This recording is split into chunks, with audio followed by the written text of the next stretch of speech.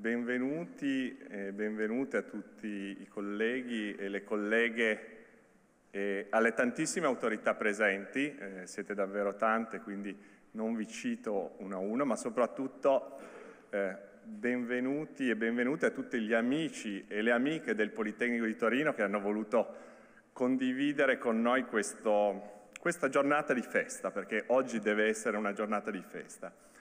Eh, L'Ateneo ha bisogno di eh, raccontarsi e di essere raccontato. Abbiamo davvero bisogno, eh, spesso ci raccontiamo poco. Questa è una bella, bella occasione di racconto dell'Ateneo. Eh, per me il racconto più bello è quello che una comunità fa parlando delle persone, delle proprie persone e soprattutto di quei protagonisti che hanno lasciato una traccia, un'impronta eh, indelebile nel percorso di crescita del nostro Ateneo. È una, una traccia di cui ancora percepiamo in modo chiaro l'eredità. Tante cose sono state fatte, tante cose la nostra comunità prende in eredità e tante cose si prospetta di fare. Ehm, anche perché in quel racconto fatto poi di, di persone, di uomini e donne del nostro Ateneo, eh, beh, ognuno di noi trova no, qualche frammento di pensiero e ricordo che vi ricorda che qui ha vissuto momenti importanti della propria vita. Allora, eh, ieri sera, devo dire pensando ad oggi, eh, anch'io ho aperto un cassetto dei ricordi e così ho iniziato a frugare tra i miei eh, libri e appunti di scuola e ho clamorosamente, devo dire, ritrovato il mio libretto degli esami.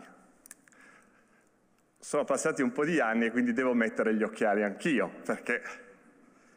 E in questo libretto degli esami, il giorno 20 giugno del 1994, quindi 30 anni fa, esattamente 30 anni fa, sostenevo il mio esame di elettrotecnica e macchine elettriche. Sul mio libretto a firma del professor Profumo. E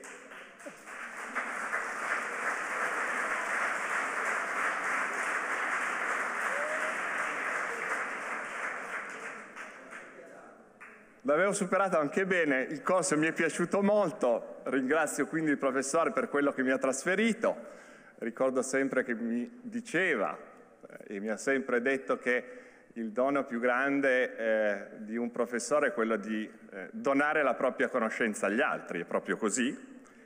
E quindi oggi eh, quel racconto che noi vedremo via via sbobinarsi da questa pellicola, per me inizia da quel giorno. Quindi benvenuti a questo giorno di festa.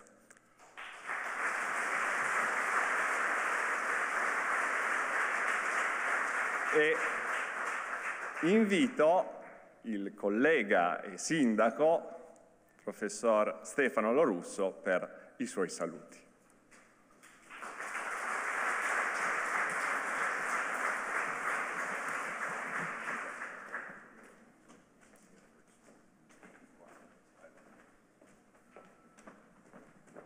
Allora, bentrovate a tutte e tutti, un ben trovato al nostro amico Francesco Profumo, al collega, e aggiungo a uno dei eh, professori e dei torinesi che ha dato di più, non solo a questo Ateneo, come ricordava il rettore Corniati, ma io credo davvero eh, alla città. Anch'io parto da un piccolo aneddoto personale e ricordo quando conobbi il professor Profumo eh, nella gestione del Senato accademico del Politecnico. Era dotato di una virtù, che io chiamo virtù non un difetto, che poi ho ritrovato raramente eh, nelle successive esperienze che personalmente ho vissuto, ma che provo ad applicare, la virtù della puntualità. Io ricordo che lui convocava i senati accademici, me lo ricordo che convocava alle ore 14, quindi la gente arrivava insomma, dopo pranzo e aveva questa virtù in sala del, del, del Consiglio 14.00 e un secondo attaccava il microfono e iniziava a parlare con la gente ancora in piedi, che si affannava a sedersi eh, attorno ai tavoli, poi parlava con questo tono monocorde volutamente, che quindi ta ta ta ta ta ta ta, ta, ta e tutti partivano eh, aspettandosi i pezzi che mancavano. E credo davvero che dietro questo dettaglio, che però dettaglio non è, si nasconda una caratteristica del professor Profumo e dell'uomo Francesco Profumo, che è stata quella di eh, essere eh, uomo di visione, di essere stato un grande rettore del Politecnico di Torino e di aver trasmesso questo nel quadro di quelle che sono molto sabaude, anche se lui è savonese, che sono le regole istituzionali, che è una seconda caratteristica insieme a quelle della visione che ne hanno caratterizzato cose, tutti i percorsi che ha svolto, da professore, da rettore, da ministro, da presidente di IREN. Io una volta ho visto il tuo curriculum e ho detto, mannaggia, ci voglio dire, non sono tanti i torinesi che possono, eh, e credo che stasera emergerà, vantare eh, le esperienze che tu hai vissuto, in ultimo quella alla Compagnia di San Paolo. E penso che questo sia un elemento importante come esempio per i giovani, perché un'altra delle ed è la terza cosa che mi preme sottolineare, tu hai sempre voluto fare, è costruire una squadra intorno a te, costruire una squadra e puntare sui giovani, costruire un gruppo dirigente, che io credo sia un grande merito che tu hai eh, in qualche modo avuto, in un contesto in cui non sempre tutti coloro che hanno posizioni e ruoli eh, di eh, elevata rilevanza hanno chiaro in testa, che la, è la squadra che dà la forza al capitano. Ed è chiaro che dentro questa cornice gran parte delle eh, operazioni, tra virgolette, che tu hai fatto anche su investimenti in persone che eh, hai voluto fare qui in Ateneo con un forte ricambio generazionale quando diventasti rettore, poi via via nelle diverse nei diversi ruoli che hai adottato penso che sia un elemento a tuo merito. Ma l'elemento più importante che voglio sottolineare è la visione che nel ruolo in cui io ti ho conosciuto prima, che era quello del rettore politecnico, che poi hai trasmesso anche negli altri diversi ruoli e negli ultimi anni in cui abbiamo lavorato insieme, e da quando sono stato eletto sindaco, è la capacità di trasformare il Politecnico di Torino da un Ateneo a un agente di sviluppo, o perlomeno di far diventare il Politecnico di Torino un qualcosa che fosse oltre la università, la facoltà di ingegneria e di architettura, ma fosse un vero e proprio laboratorio di sviluppo dell'intera città. Questo ragionamento è un ragionamento che deve eh, anche al rettore Zic, che fu il primo dire, che introdusse questo tipo di ragionamento, ma sicuramente ha avuto nella gestione del rettorato eh, di Francesco Profumo eh, l'elemento qualificante che poi tutti coloro che sono eh, succeduti hanno ereditato, come diceva il professor Corniati, e hanno cercato di portare avanti nelle specificità dei singoli. Quindi io credo di interpretare non solo il mio pensiero personale, ma il sentimento davvero della città, che è un sentimento di gratitudine al professor Francesco Profumo per quello che ha rappresentato nello sviluppo del Politecnico di Torino in anni complicati, per quello che ha rappresentato per davvero centinaia di eh, studenti che ha avuto, di persone che hanno lavorato con lui, un esempio di correttezza, di professionalità e soprattutto di visione. E come ricordava, come ricorda sempre un altro amico che è il professor Bompar, con il motto del piano piano che è una cosa che lui dice sempre quando le sfide si fanno particolarmente difficili, la sua classica battuta è piano piano, che in termini eh, concettuali, anche questi molto sabaudi, vuol dire che le cose giustamente si costruiscono un pezzo per volta. E questa capacità di avere una strategia, un punto di traiettoria, un arrivo e capire quali sono i passi da fare, mi sembra davvero sia stato un ulteriore elemento che credo chi ha avuto la fortuna e il privilegio di poter lavorare con te in questi anni, insomma, mh, mm, mh, mm, porta a casa. Quindi sono contento che il nostro Ateneo ti riconosca questo tributo e davvero eh, auguro che il futuro della tua lunga carriera continui a essere così prodigo di visione, di buoni sentimenti e di buoni esempi, soprattutto per i più giovani.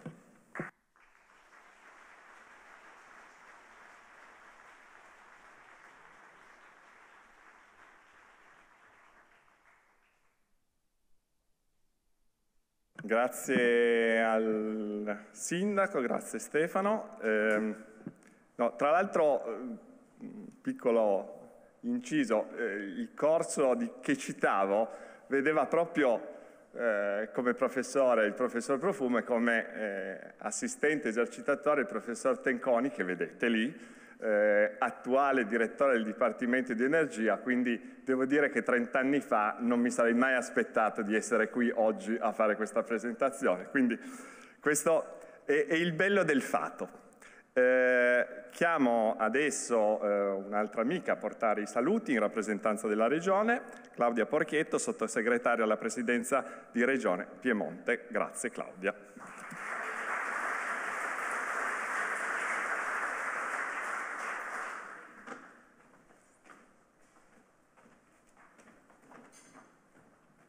Io vi ringrazio e porto il saluto del Presidente Alberto Cirio che non ha potuto essere presente, ma sia io che l'assessore Gianluca Vignale che è qui con me ci tenevamo particolarmente e devo dire che abbiamo fatto anche un po' di competizione per portare il saluto, ma soprattutto per ringraziare un grande amico della Regione Piemonte e del Piemonte, Francesco Profumo. Abbiamo avuto entrambi la possibilità e la grande occasione di lavorare con te per tanti anni, anche con cappelli diversi e in funzioni diverse.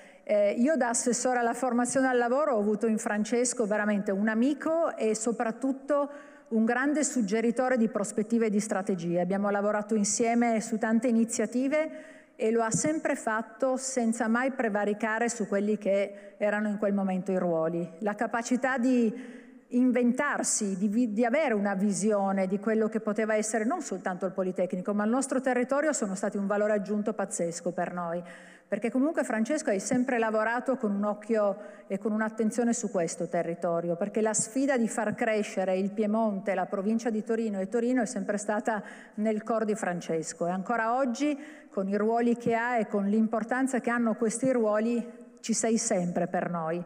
Io mi permetto una piccolissima digressione, scusatemi. Dietro un grande uomo c'è sempre una grande donna e tu hai avuto la fortuna di avere Anna che è veramente una grande donna e penso che ti abbia accompagnato in un percorso importante. Mi faceva piacere da donna dirlo perché io ho avuto il piacere di confrontarmi anche con Anna tante volte e questo senso della famiglia, il fatto che quando tuo marito telefonava la prima cosa che mi chiedeva quando avevo i bimbi piccoli è come stanno i ragazzi. E un'attenzione che si ha non solo nei ragazzi ma in quei ragazzi che hanno transitato in questi 30 anni nel Politecnico. E io credo che questo sia veramente consegnare al futuro di Torino, della regione Piemonte una grande eredità e speriamo di poter contare su di te ancora con l'entusiasmo che hai dimostrato fino ad oggi. Sono certa che dopo questo riconoscimento sarà ancora più grande perché la sfida sarà quella di ritrovarci fra 30 anni per darti un altro ruolo importante. Quindi grazie davvero Francesco della Regione Piemonte, grazie ancora.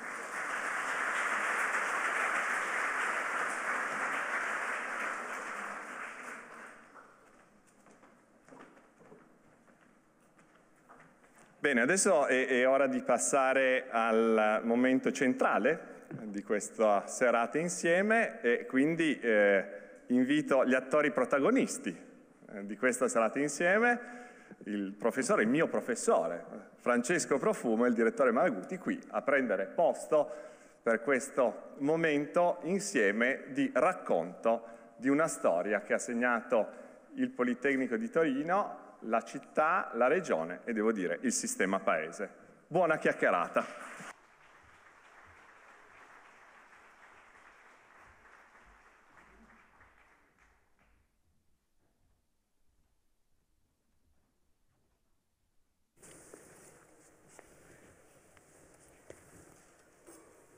Bene, buonasera a tutti, grazie per essere qui. È difficile aggiungere cose dopo quello che è stato detto.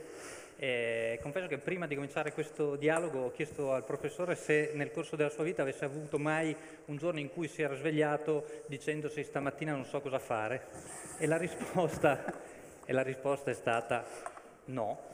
E adesso capiremo perché. In, eh, in realtà poi spero che da qui alla fine della serata scopriremo che voto avevi dato al rettore perché ci ha lasciato così sospesi, noi vorremmo sapere, insomma, perché non so se è stato un eccesso che avete di discrezione o in realtà un po' di imbarazzo, quindi tu non lo ricorderai, immagino. Comunque, eh, abbiamo strutturato questo incontro, eh, diciamo, come un grande racconto della vita del, del professore, che comincia con quello che il professore è oggi, in realtà. Il professore, oltre a essere presidente di EasyBank, è anche presidente della Fondazione Quadrivio, è membro dell'European Innovation Council della Commissione europea, è presidente di USP della eh, School of Business di Torino-Parigi ed è anche presidente di Uni eh, Italia. quindi diciamo che eh, le occupazioni non, eh, non ti mancano eh, da qui in avanti. Ma stabilito quello che sei oggi, io eh, tra l'altro vedo già alle nostre spalle ci sono delle foto che ci aiuteranno nel racconto, forse eh, vale la pena cominciare dall'inizio come in tutte le storie o in tutte le favole, perché la tua storia somiglia anche abbastanza a una favola.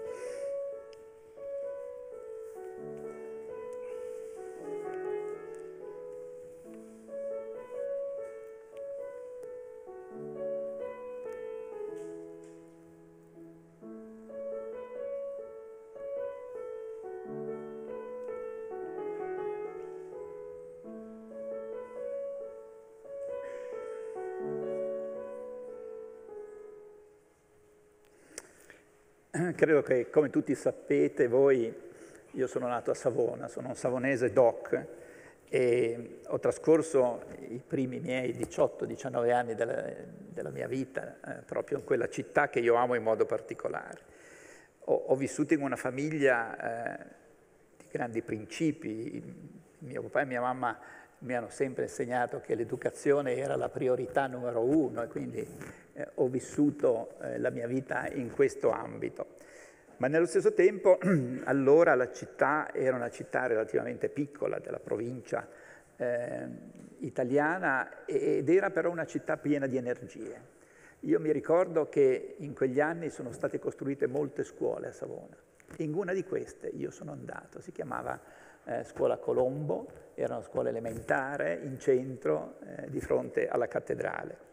E quindi questo eh, mi ha aiutato in, a, crescere, a crescere nel modo forse eh, che, che, un po' faceva parte del mio DNA, lasciatemi dire. E ci sono alcune cose che mi hanno segnato particolarmente. La prima ve la racconto brevemente. Questa scuola era vicino ai giardini pubblici dove venivano i giostrai e i circensi e ogni anno avevamo eh, due bambini che venivano per qualche settimana a scuola con noi. Ebbene, questo era veramente un qualche cosa che andava oltre qualsiasi cosa, perché loro ci raccontavano delle cose meravigliose, gli animali, il modo di essere, il modo di rapportare, il loro coraggio, e noi eravamo un po' così. E quindi questo mi ha segnato particolarmente. La seconda cosa che mi ha segnato molto è che eh, in quegli anni il, il, non ancora presidente Pertini, che, savonese, che, era un savonese, che aveva uno studio di avvocato in Corsa Italia, che non era lontano dalla mia scuola, veniva, veniva a scuola, ma non solo nella mia scuola, in tutte, veniva e passava eh, qualche ora con i bambini, ci raccontava delle cose che ancora oggi ricordo, il tema del confinio, il tema della resistenza, le sue battaglie. Lui non era uno proprio un uomo semplice, era un uomo... Eh, e quindi ci ha insegnato veramente a che cosa poteva diventare il futuro e come ci si poteva rapportare. Da ultimo, il mio professore delle medie, quando ero un pochettino più grande, si chiamava Draperi ed era il vice sindaco della città di Savona. E lui ogni tanto ci portava in consiglio comunale perché pensava, e io concordo con lui, che questo fosse il modo corretto per farci crescere, per farci rapportare con le istituzioni. Quindi la mia vita nasce proprio attraverso le istituzioni. Poi nel 1972 io ho finito il mio liceo e naturalmente... Ma sei già corso troppo avanti. Intanto non so se hanno fatto vedere tutte le foto, intanto tu bambino, vabbè, questo questa, questa la Qui dovresti spiegare quale sei tu lì in mezzo sì. in realtà, allora, perché, perché tu io, ci sei lì. Sì, io ci sono lì e sono, qui c'è anche un altro mio compagno di scuola che si chiama Mariano Rosasco, che adesso poi... Che sta alzando vedere. il braccio là, ecco, con orgoglio. Eccolo là, eccolo là, che ha alzato la mano. Io sono lì in mezzo e ho quella maglia bianca eh, nella seconda fila. Questo è il 1972, il nostro liceo si chiamava Orazio Grassi e questa fotografia è stata fatta poco prima dell'esame di maturità. Poi fatto l'esame di maturità il 90% dei miei compagni, dei savonesi, andavano a studiare a Genova e io ho deciso di venire a Torino. Allora, due cose. Intanto, naturalmente hai preso 60 sessantesimi, è stato anche abbastanza noioso in questa tua perfezione di cammino, no? E quindi dopo non ti chiederò più i voti che hai preso all'università perché erano tutti uguali. Poi va detto che anche la colonna sonora l'hai scelta tu, questa, la prima canzone che hai scelto è Qui arriva il sole, io non so se questo, come dire, a proposito di Grandeur, eh, eh, no, anche perché il secondo blocco su cui passiamo,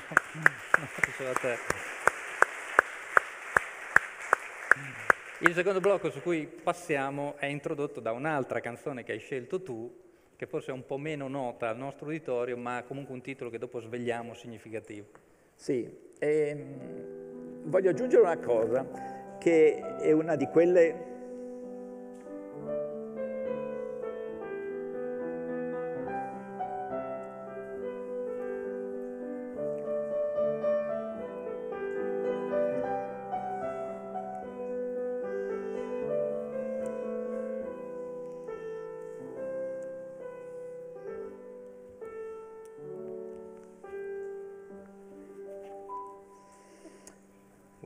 come si intitola questa canzone? E dillo tu, forza. Si chiama Perfect, perfetto. Di Ed Sheeran, quindi diciamo che insomma, da qui arriva il sole alla perfezione. Va bene, e questo introduceva... La perfezione mi sembra un po' eccessiva. Però eh, è un'ambizione perlomeno. Sì, eh. Però volevo dirvi ancora una cosa. Quando io ho fatto la maturità, eh, noi avevamo due scritti e poi due orali che venivano uno scelto e uno veniva eh, assegnato. E io ho fatto eh, co come la, la, parte orale con fisica e filosofia. Credo che questa cosa eh, poi me la sono portato un po' dietro, poi ad un certo punto vi racconterò anche che quando ho fatto il preside ho pensato che fosse opportuno che nelle nostre scuole, che in queste aule ci fossero anche dei crediti eh, che non fossero solo tecnico-scientifici, ma che fossero umanistici.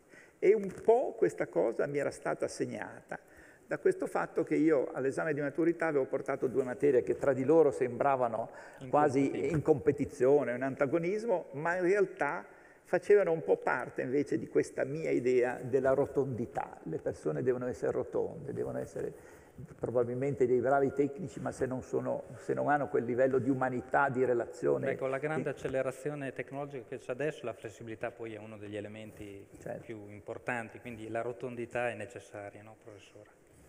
Sì, io credo di sì. E effettivamente eh, poi è molto cambiato il mondo. Vi dico anche il motivo per cui io pensai questa cosa. Eh, era che quando io fatto, sono venuto al Politecnico, noi avevamo una maggioranza importante di studenti che venivano dal liceo e che quindi avevano avuto l'opportunità di affrontare anche tematiche che non erano esattamente quelle che poi avrebbero studiato. Nello stesso tempo buona parte degli ingegneri facevano il progettista per tutta la vita, quindi avevano questo tipo. Nel frattempo le cose stavano cambiando e io eh, avevo quest'idea che gli ingegneri eh, sarebbero sempre più diventati persone di, di, di, relazione, quindi avrebbero dovuto avere argomenti che andavano oltre il contenuto tecnico. Del... E dall'altra parte il paese era cambiato, fortunatamente avevamo anche studenti che venivano da altre scuole e questi non avevano avuto questa opportunità, per cui lo dico con sincerità, la mia è stata una scelta pensando che le nuove generazioni avevano bisogno di avere qualche cosa in più che la scuola tradizionale forse non gli avrebbe dato. Comunque, tu arrivi a Torino in che anno? Io arrivo a Torino nel 1972, vengo al collegio in Audi, in Corso Lione, al 44, e lì incomincia questa mia relazione con questa città eh, che allora io vedevo eh, con, un certa, con, una certa visione, quindi la maggior parte dei miei compagni, soprattutto di quelli che stavano in collegio con me, venivano dalla Puglia, dalla Sicilia, dalla Calabria e io ero uno fortunato perché al sabato e la domenica andavo a casa. Loro, eh, chi era fortunato andava due volte, per Natale e per Pasqua. La maggior parte era un po' più complicata per loro. E avevano una voglia e avevano uno stimolo. Era il vero ascensore sociale questo. E questo era evidentissimo. Io dico la verità, che la città lo aveva capito. perché noi spesso eravamo anche invitati dai nostri compagni, dalle famiglie in realtà dei nostri compagni torinesi e papà, io mi ricordo queste papà e mamme che ci interrogavano, no? eh, loro, i miei compagni che venivano dal suo, ancora di più, ed erano uno, uno stimolo. Questo stimolo eh, aveva avuto un risultato. Io quando mi sono laureato nel luglio del, 2000, del, del 77, noi ci siamo laureati in 11 nella prima sessione e credo che questo fatto sia anche parzialmente dovuto a questa comunità che, abbiamo, che avevamo creato e che ci ha cons- consentito di crescere Senti, insieme. avremmo dovuto dirlo prima, ma, ma, i tuoi genitori che cosa si aspettavano da te, proprio rapidamente, quando sei arrivato? Uh, allora, io sono sempre stato un bravo studente, sono sempre stato un bravo studente ma con molti interessi anche diversi. Eh, credo che i miei genitori avessero una grande fiducia in quelle, nelle mie scelte, non ho mai fatto colpi di... Però chi, chi mi ha segnato forse di più era un mio zio, un mio zio che si chiamava zio Carlin, che mi portava eh, al, la, la, domenica a fare un giro in città, a Savona piccola, sotto i portici un po'. E, e, e lui eh, mi, mi, parlava sempre di meccanica, mi parlava di cose elettriche e ogni tanto mi diceva, ma lo fai l'ingegnere? E io dicevo, ma è ancora lunga la strada, io facevo la terza media, queste cose. In realtà questa cosa mi ha segnato molto. Poi mio padre e mia mamma mi hanno spinto, nel senso che eh, loro pensavano che sarebbe stato quello che io avrei forse potuto fare abbastanza bene l'ingegnere. Non c'è dubbio. Senti, nel 77 ti laurei con che voto? Avevo detto una eh, 110 ma... lode. Con 110 lode. Dopodiché che cosa succede? Parti Dopodiché, per fare una cosa tanto, tanto eh, io mi laureo a luglio e poi vado al militare, a militare a gennaio del 78, quindi ho qualche mese. Proprio in, questa, in quest'aula, che non era così, era un'aula dove c'erano dei banconi con la formica sopra verde, lunghi da una parte all'altra, eh, qui c'è anche Michele Tartaglia, che era il professore di elettrotecnica per eh, gli ingegneri civili. E io nel primo semestre di quell'anno accademico, eh, che era il 77-78, facevo quello che si chiamava il coadiutore, che era il giovane che faceva le esercitazioni. Eh, l'ho incontrato adesso Michele, questo, mi dice, sai, gli studenti erano 299, quindi eh, riempivano bene. Ce ne mancava uno perché ci sdoppiassero il corso e io, giovane berbè così, eh, senza barba, e, e mi trovai a dover interagire con quelli che più che miei allievi erano miei coetanei e dico la verità che ho imparato molto anche da questo, nel rapportarmi con gli studenti. Senti, hai fatto l'alpino, Dopodiché sì. non hai cominciato subito a fare il professore, bensì ti sei buttato nel mondo del lavoro, hai fatto un'esperienza professionale. Sì, perché io pensavo che eh, la scuola, eh, che certamente mi, mi, mi, sarebbe piaciuto fare la carriera universitaria, ma che nello stesso tempo eh, sarebbe stato opportuno che io mi sporcassi un po' le mani. Sono andato a lavorare all'Ansaldo, l'Ansaldo che a Genova allora lavorava alla ricerca e sviluppo e dico la verità, mi sono molto divertito anche perché mi occupavo di alcuni dei contratti di licenza con la General Electric, quindi anche una cosa interessante. Già il settore era quello che poi è stato il settore in cui mi sono specializzato, quindi l'elettronica di potenza. Allora, per esempio, si pensava al raddoppio del Sacoi, che è questa eh, in, eh, relazione tra la, la Sardegna, la Corsica l'Italia per il trasferimento in corrente continua di energia. E quello era un prodotto molto importante, eh, sviluppato da General Electric, che l'Ansaldo aveva acquisito. Poi, ecco, in quegli anni io ho imparato molto, dico la verità. Eh, allora le, le aziende, quelle che chiamiamo di Stato, erano aziende che insegnavano, investivano.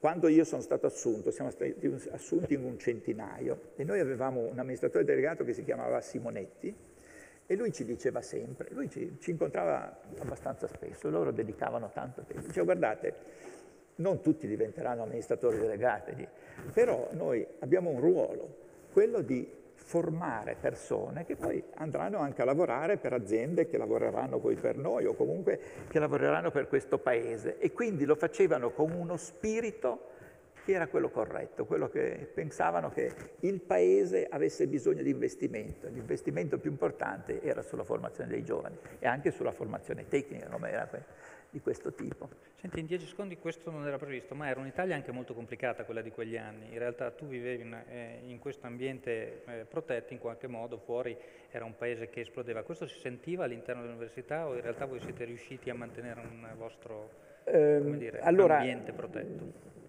In quegli anni, gli anni più difficili per me sono stati eh, quando ho lavorato all'Ansaldo, perché erano anni complicati, molto...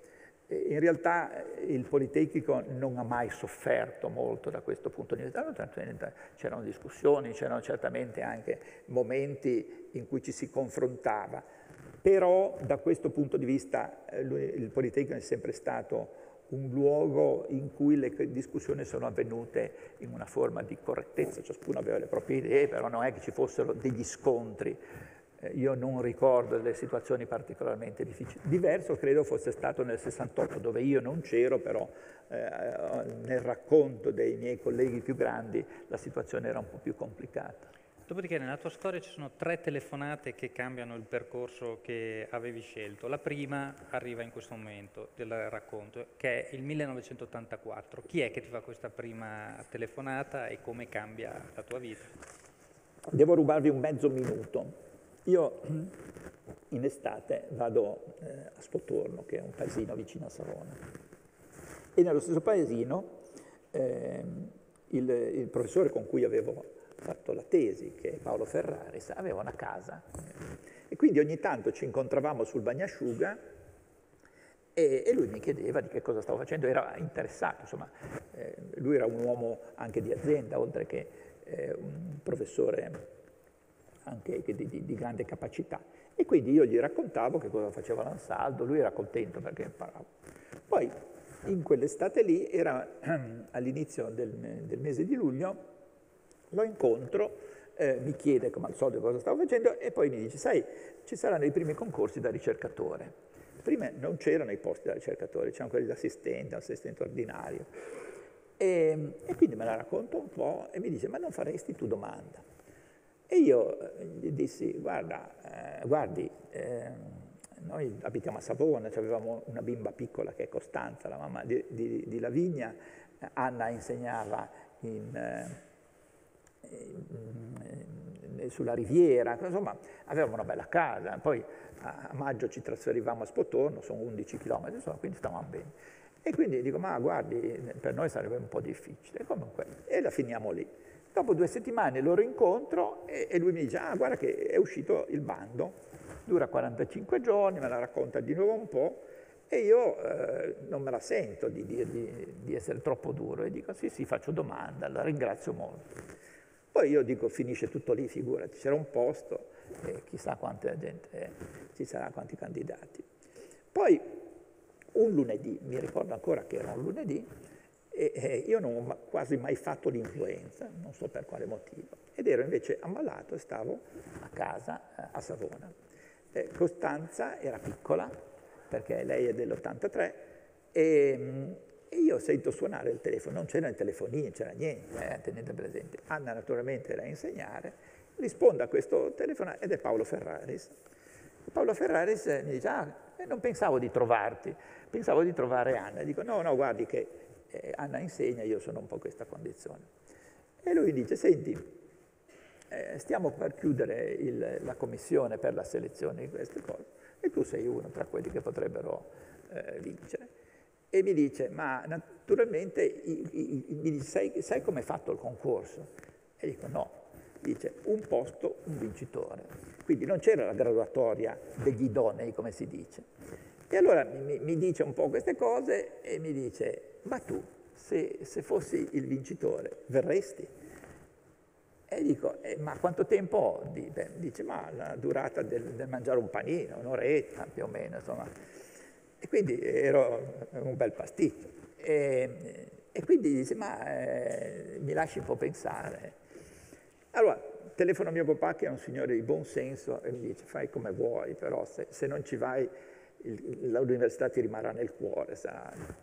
Poi telefono a mio suocero a mia suocera in realtà, perché mio suocero faceva il chirurgo e pensavo di non trovarlo, e dico, loro sapevano che avevo fatto questa domanda, dico, senti, sta succedendo questa cosa e non so che cosa fare. E dice, ah ma guarda c'è papà qua, parla con lui invece che parlare con me. E quindi parlo con lui mi dice le stesse parole.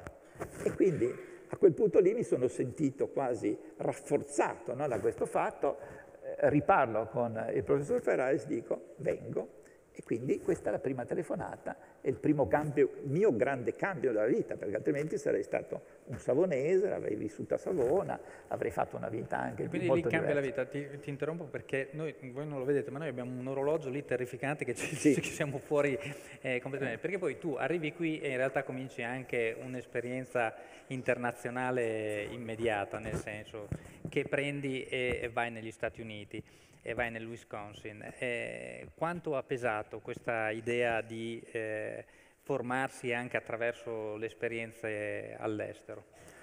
Eh, tantissimo, tantissimo perché io sono andato a lavorare per un centro in cui c'erano giovani più o meno della mia età che venivano da 35 paesi e c'erano due professori, uno che veniva dall'accademia e uno che veniva dall'azienda che aveva costruito questa cosa. E si chiamava WEMPEC, che era Wisconsin Power Electronics System Consortium. E quindi questa cosa mi ha molto segnato, mi ha molto segnato anche nel eh, sistema di relazione con le aziende. Poi tutto quello che ho fatto un po' dopo nasce da quella mia esperienza, oltre al fatto che in quel periodo ho lavorato molto, facevo eh, praticamente eh, solo ricerca e insegnavo un corso, quindi non è che fossi... Quindi la mia vita è stata profondamente segnata dalla mia avventura americana. Nonostante torni indietro, perché? Che succede? Beh, io sono stato eh, quasi quattro anni, è nato nostro figlio, Giulio, e, e, quindi a quel punto lì dovevamo decidere, cioè se tornare indietro oppure fermarci per sempre. E io, insieme a Anna, abbiamo pensato che la nostra famiglia, le nostre tradizioni erano qualcosa che non avremmo potuto abbandonare. E anche qui, adesso dovremmo dirlo sì. in frettissima, c'è l'avventura nel Senato accademico e poi eh, diventi professore associato. Allora, al Senato accademico intanto vi devo dire una cosa. Io quando sono arrivato qua non sapevo niente di università. Mi chiama Zic e mi dice eh, adesso eh, ti devi un po' anche impegnare e quindi candidati per il Senato accademico come rappresentante dei ricercatori e mm, vengo eletto e quindi vado in Senato e eh, chi è il mio compagno di banco? Il presidente Grospietro che ho visto oggi. Lui era il rappresentante del CNR e proprio eh, lui mi ha insegnato tutto, nel senso che io sapevo quasi niente e lui mi, e quindi lì ho incominciato a imparare, poi era un, una fase bellissima perché c'era questo Senato Costituente, era partita l'autonomia, era una fase estremamente positiva. E il professor Zick è stato veramente il mio maestro, quello che mi ha insegnato che cosa vuol dire vivere all'interno dell'università con questo spirito che noi abbiamo. Dopodiché eh, tu fai un passaggio invece allontanandoti da, da, Torino. A quel punto ti sentivi già più torinese o savonese? Hai mai avuto, fatto uno scambio di cittadinanza interna, cioè dentro te stesso? Come ti senti di più? Di qua, di là, ligure, piemontese, savonese, torinese? No, credo di aver mantenuto il mio giusto equilibrio. Il lavoro a Torino e la vacanza in Liguria, quindi mi sembra che sia una buona, una buona equilibrio. Un buon equilibrio. Sì, ehm, sì, eh, de, de, quando ho vinto eh, da professore ordinario non c'erano posti a Torino e quindi eh, allora faceva, le, le, le, facoltà facevano le chiamate e c'erano tre posti, eh, eh, quattro posti in realtà, due a Cagliari, uno a Bari e uno a Bologna. Io quando ho saputo di essere uno dei quattro vincitori sono andato a casa e ho detto Anna guarda andiamo a Cagliari, affittiamo una villetta, stiamo, i bambini erano piccoli, stavamo bene. E poi invece, un po' di litigate, come succede spesso all'interno dell'Accademia, mi chiamano a Bologna. E quindi io vado a Bologna, dove è una università meravigliosa, eh, ci sono delle cose, eh, è la vera università, dico la verità. Tutte le sere, io stavo, insegnavo lunedì e il venerdì a Torino, partivo il martedì, cioè martedì, mercoledì e giovedì, allora non c'era l'alta velocità, eh, facevo Torino, Asti, Alessandria, eh, e ci volevano 3 ore e 40 andare quindi insomma era anche un po'... faticoso, però bellissimo perché alla sera ogni volta, ogni sera c'era qualche cosa da fare, andavi ad ascoltare Prodi, andavi ad ascoltare Andreatta, c'erano cose meravigliose. E quindi io mi ero anche un po' innamorato di stare lì. D'altra parte non è che mi piacesse proprio che la famiglia stesse qua. E quindi con Ganda siamo andati a cercare una casa e l'avevamo osservata con una certa attenzione, non è che avessimo comprato niente, a Porta Saragozza che tu conosci. Molto bene. Proprio vicino a Viale della Rimembranza, una casa meravigliosa. E quindi... E qui però succede che arriva la famosa seconda telefonata che cambia la vita. Eh, Rodolfo Zic mi telefona e mi dice sono andato a Roma, mi hanno dato un posto eh, d'ordinario per, per, trasferimento, uno, se la racconto eh, cade tutti perché mi fanno morire. Dice... Eh, tu sei il primo della lista, se, se tu vieni è per te. E io gli faccio la solita domanda, quanto tempo il, la durata di questa telefonata? Gli ho detto di sì, questa volta senza chiedere consiglio né a mio papà né a mia suocera. Per la felicità di tua moglie. Che... Eh, ma sì, sì, però eravamo ormai entrati nell'idea anche che andare a Bologna non ci sarebbe dispiaciuto. Senti, poi per chiudere questo blocco, eh, quanto sei messo a diventare preside di facoltà? Beh, io sono tornato nel 97 e poi ho fatto il preside dal 2003 al 2005, ho dovuto imparare perché non è che avessi, fossi uno imparato. E, e lì sono diventato preside, eh, diciamo, con uno stacco rispetto alle generazioni precedenti. I presidi pre precedenti erano stati i miei professori per anni. E lì è stata una bella avventura, è lì che abbiamo costruito questo gruppetto di giovani che poi sono stati tutti i miei vice presidi lì e poi i miei vice rettori, poi alcuni sono diventati rettori. Quindi questa, questa continuità c'è stata e credo che sia una delle cose più belle che ho fatto nella mia vita, nel senso di aver costruito una comunità che ha contribuito allo sviluppo di questo Ateneo. Lui ha già messo le mani sul pianoforte perché stiamo passando al, al blocco successivo e anche qui hai scelto una canzone che in realtà, come dire, definisce lo spirito con cui hai affrontato la tua avventura torinese, diciamo.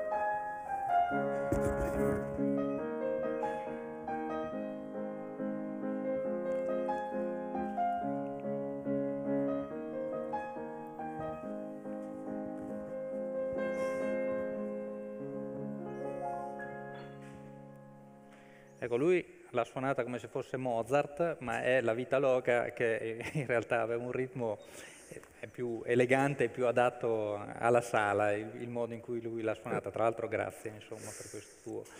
E questo serve a introdurre questa vita loca che tu hai vissuto qui a Torino negli anni che vanno dal 2005 al 2011, gli anni in cui sostanzialmente fai il, il rettore. Intanto come si diventa eh, rettore di un'università come, que come, questa, su che tipo di progetto? Cioè che cosa avevi in mente quando hai cominciato?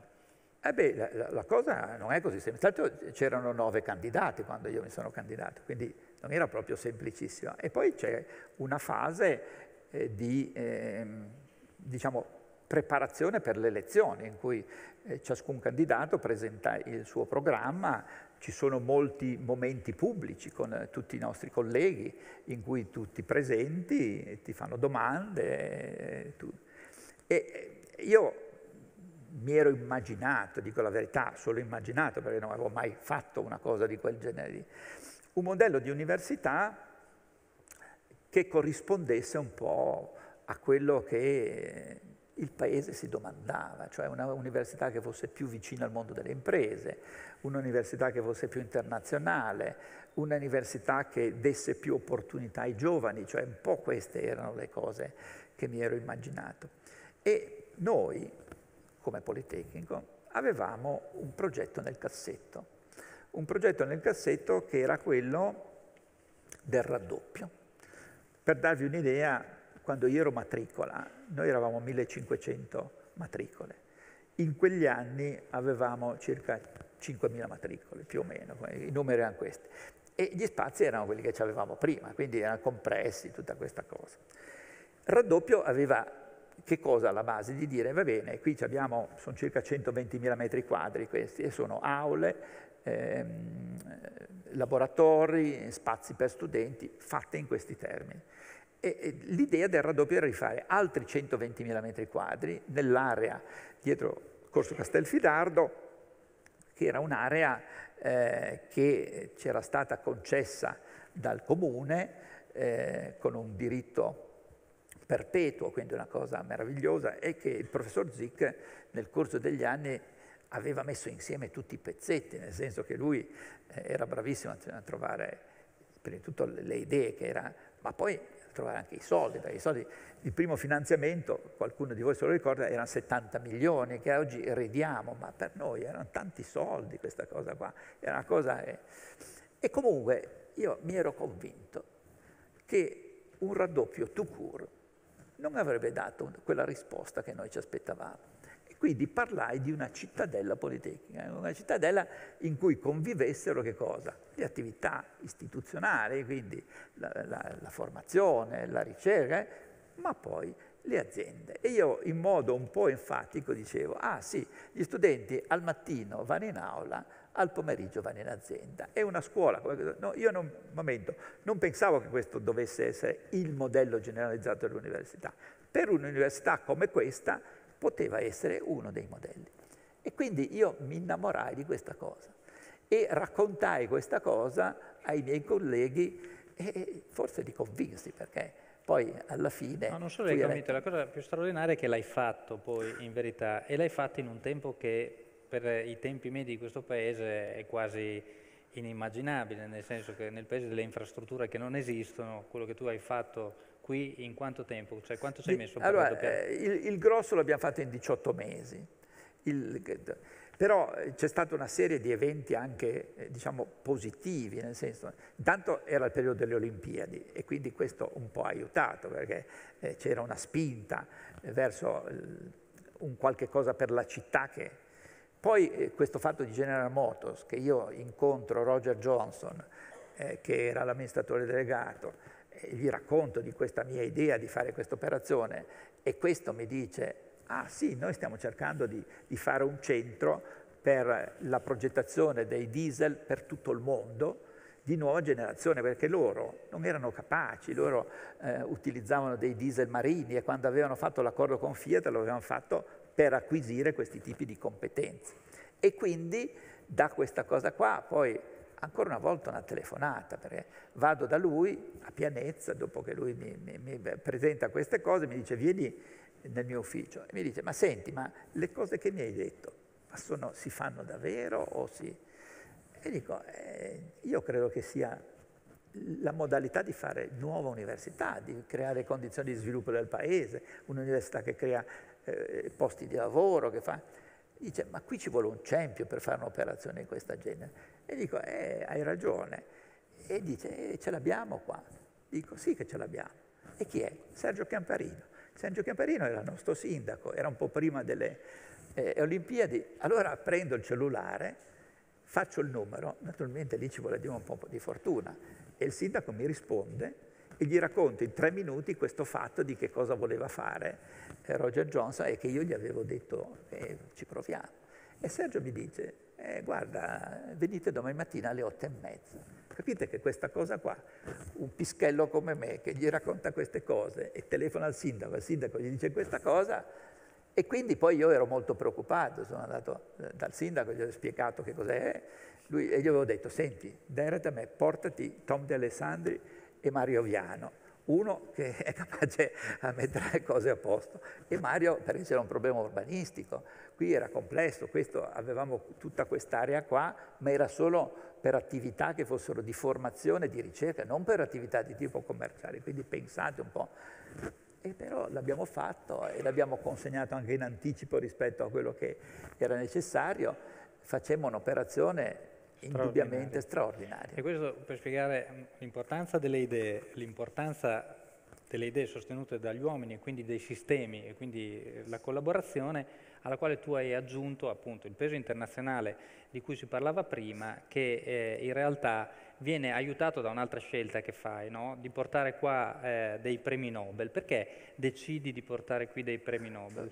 Prima di, di passare ai premi Nobel, che è una cosa importante, in tutta questa operazione c'è stato un uomo che mi ha dato una mano, indescrivibile, senza di lui mai più. Era il nostro RUP, era il nostro collega che si chiamava eh, Franco Ossola, bravissimo, uno che ti diceva sempre di no, ma che aveva ragione a dire di no e che non si faceva mai tirare la giacca. Io ho imparato da queste persone che bisogna avere questa forza e lui è certamente l'uomo che più ha fatto, ha fatto più di me. Io sono stato forse capace a fare l'architetto, ma è stato più bravo di me perché è lui che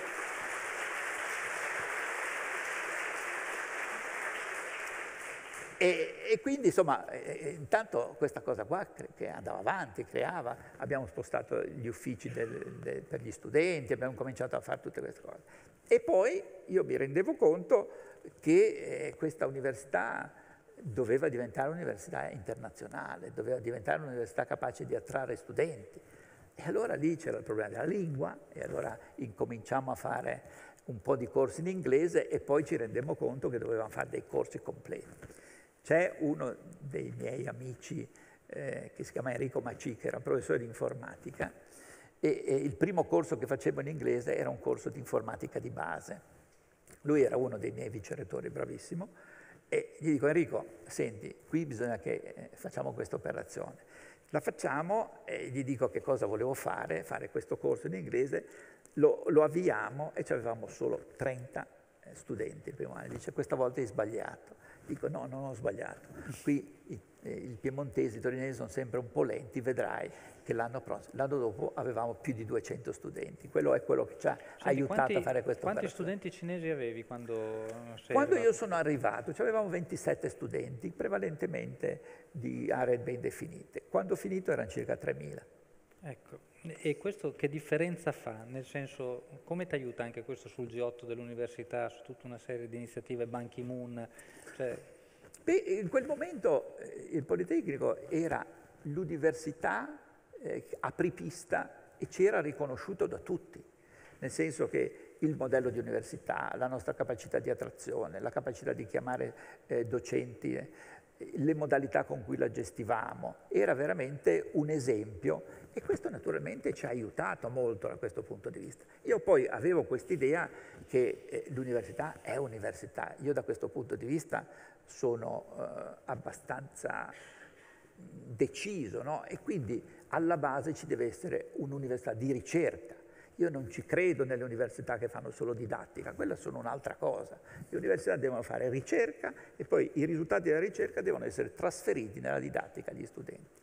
E allora per dargli questa diciamo, caratterizzazione, eh, io ho pensato che fosse opportuno che qui portassi dei premi Nobel dei premi Nobel che dessero questo segnale anche per gli studenti e questa cosa fatta soprattutto dall'inaugurazione dell'anno accademico che è un momento veramente importante. E Rita di, eh, Levi di Montalcino, io me la ricordo lì, era 30 kg, ha parlato per mezz'ora davanti a un microfono senza una cosa meravigliosa che credo che tutti voi, chi c'era allora, lo ricordano. E poi Croto, Croto era uno dei più grandi scienziati nel settore della chimica. E poi Eger si chiamava, era il terzo. Che... E quindi nei, nei, nei anni, in, in, corrispondenza dell'inaugurazione dell'anno accademico, facevamo questa cosa e davamo un segnale fortissimo agli studenti. Nobel e laurea honoris causa anche. Eh, erano, questi erano tutti premi Nobel e gli davamo la laurea honoris causa, quindi eh, era, eravamo un po' furbi anche, no? la giocavamo bene. Però, momento, però no, questa è una scuola anche che aveva bisogno anche di, di, legarsi alle aziende. E allora ce la siamo giocata fino a un fondo, perché abbiamo dato questa volta solo la laurea honoris causa, perché noi il, il premio Nobel non ce l'aveva, a Marchionne e eh, a Giugiaro. Quindi abbiamo fatto questo, lasciatemi dire, mescolamento tra scienza, aziende, Magnifico. facendo un purpurì di cose che credo che sia la ricetta vincente. Senti, quindi mm, per chiudere questo blocco, che Politecnico hai trovato e che Politecnico hai lasciato? Beh, io ho trovato un Politecnico di grande qualità, perché era una scuola ma molto tradizionale. Io quando sono arrivato qua, tanto per darvi un'idea, ma non per colpa del Politecnico, perché era pre-autonomia, il 99% delle risorse erano risorse dello Stato targate, cioè arrivavano qua e c'erano non so eh, quante milioni di lire per fare una certa cosa. Noi con l'autonomia, se si è capaci, si può decidere di costruire un'università diversa e quello che noi siamo stati capaci di fare è stato questo. grazie a Rodolfo Zic, perché è lui che ci ha insegnato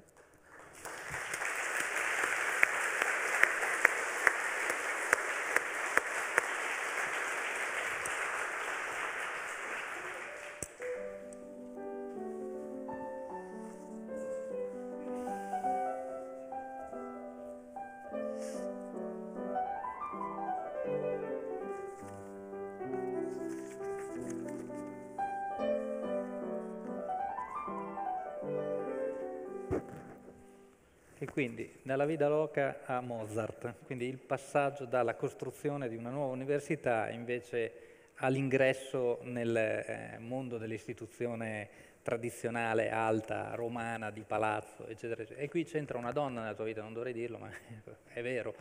Cioè che cosa ti succede? Ah, eh, succede che io eh, nel 2011, nel mese di agosto, vengo nominato presidente del CNR. Vengo nominato presidente del CNR e vado a Roma e dico la verità che sarebbe stata una cosa che mi sarebbe piaciuta, perché io penso che gli enti di ricerca siano un grandissimo valore, un po' impolverati, eh? e il fatto che sono impolverati è perché la legge Ruberti sull'autonomia, che entrò come autonomia delle università e degli enti di ricerca, uscì solo con l'autonomia delle, delle, università e gli enti di ricerca sono rimasti un po' ministeriali. E quindi io mi ero immaginato che uno come me avrebbe potuto aiutare il CNR e gli altri enti di ricerca. Il mio pallino era quello di fare una legge sull'autonomia anche per gli enti di ricerca. E quindi vado lì. Vado lì, dico la verità che mi trovo bene, nel senso che eh, sono stato poco, però sono entrato subito in sintonia con loro, adesso non so se c'è qualcuno di loro qua, ma eh, avevo fatto, gli avevo dato un po' di, di carica, insomma, loro credevano che io avrei potuto aiutare questa cosa. Però eh, noi facciamo il consiglio di amministrazione il mercoledì e il mercoledì del 16 di novembre del 2011 andiamo a fare, il, il, facciamo il consiglio, poi andiamo a cena e poi vado a casa e io non guardo quasi mai la televisione perché poi soprattutto la sera sono abbastanza stanco, però lì il presidente Berlusconi si era dimesso, c'era l'incarico a Monti e quindi accendo la televisione. Accendo... Però sulla televisione ti devi fermare perché siamo già al blocco successivo. Ah, ok, allora devo tornare indietro. No, ma sei perfetto, lo dicevo per lui perché ah. giustamente. Allora, arrivo lì perché no. sto cercando di guadagnare un po' di tempo. Allora, eh. ma ascolti, ti devi fermare perché tocca al pianoforte.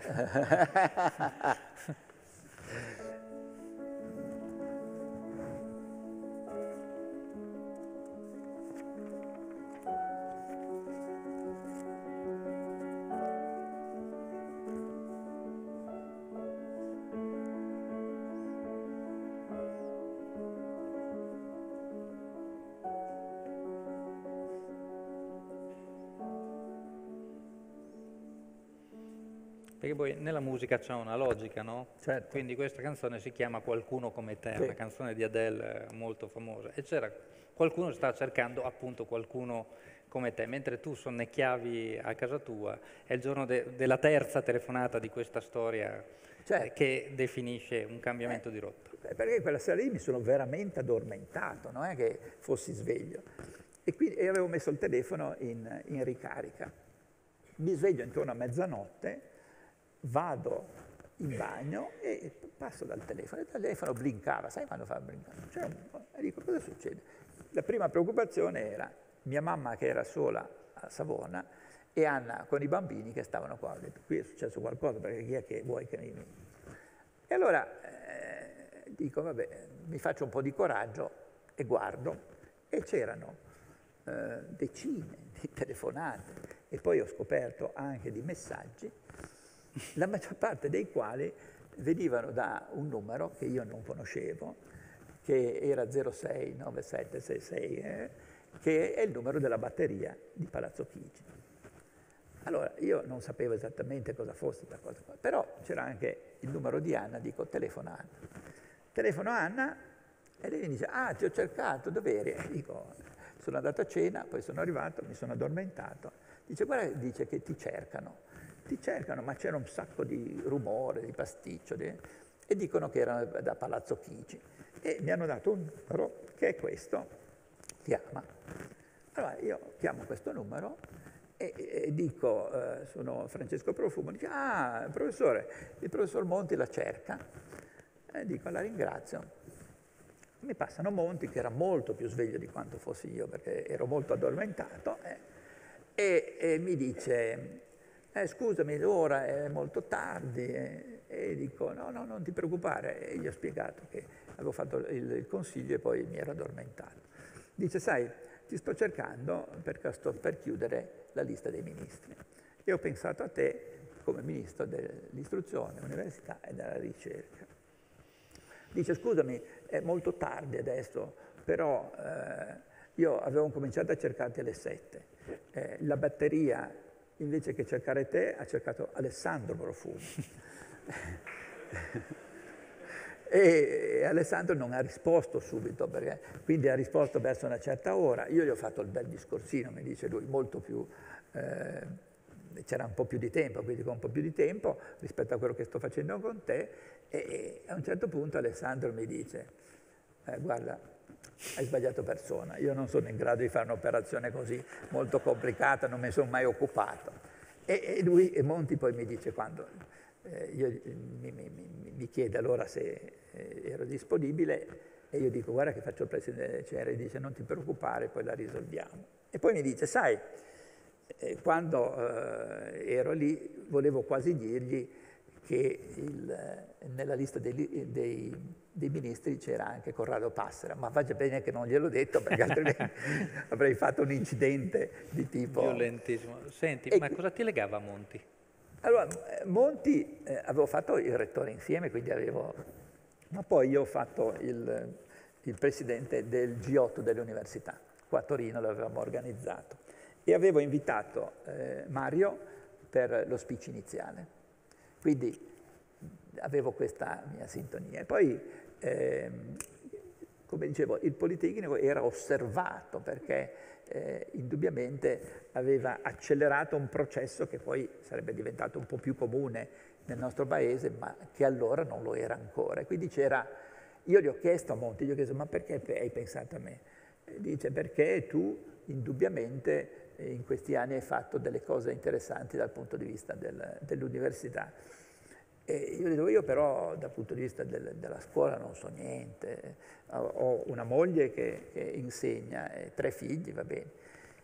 E allora, ancora una volta, credo che un po' il mio buon senso, dissi, vabbè, qui bisogna che mi cerchi una persona che sia capace di aiutarmi. E allora ho cercato un po' di parlare con la gente e mi hanno indicato una signora che si chiama Lucrezia Stellacci, che era stata eh, il provveditore, allora si chiamava, o il direttore dell'ufficio scolastico regionale, prima in Emilia e poi in, in Puglia, poi era stata al Ministero. Quindi, eh, e questa signora, lei mi ha aiutato in tutto e per tutto, perché altrimenti eh, avrei fatto solo qualche pasticcio e io ascoltavo. Poi... Senti, ma dal punto di vista personale, che effetto fa sentirsi dire vieni a fare il ministro? Perché voglio dire, nella vita può succedere tante cose, ma diciamo il ministro è una di quelle che capitano più raramente. Da un punto di vista de- dell'orgoglio personale, come si affronta una richiesta di questo genere? Eh, allora, io non, non, non mi spavento mai di nulla, quindi partiamo da questo principio. Però sono estremamente cosciente delle mie competenze, delle mie forze, delle mie eh, debolezze. E quindi in quel caso lì, dico la verità, la mia paura più grande non era tanto il, il fatto eh, di quello che avrei dovuto fare come ministro, perché io avevo molte relazioni con i ministeri, eh, nel senso che io facevo il rettore anche a Roma, nel senso che non è che aspettassi. Quello che mi spaventava molto era l'ambiente romano, era la burocrazia. E dico la verità che invece dal punto di vista umano è stata un'esperienza estremamente positiva. Ve ne racconto una sola per tutte così. Io sono uno che mi alzo presto al mattino e che vado a lavorare presto al mattino perché io credo che eh, veramente le prime ore hanno loro in bocca, quindi...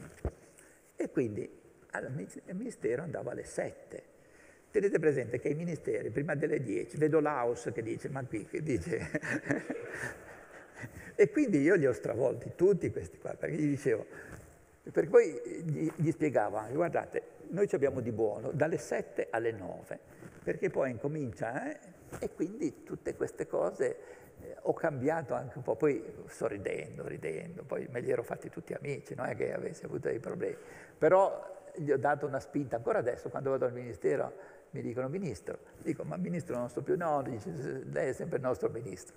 Questo è magnifico. Senti, adesso c'è una grande diffidenza nei confronti dei tecnici, Monti, te stesso, eccetera. Ti sembra una diffidenza giustificata da un punto di vista appunto delle necessità paese? Adesso andiamo verso una riforma del premierato, sempre che mai si faccia, il che non è detto francamente, che ha tra gli obiettivi quelli di impedire la costruzione di governi come quello di cui tu hai fatto parte.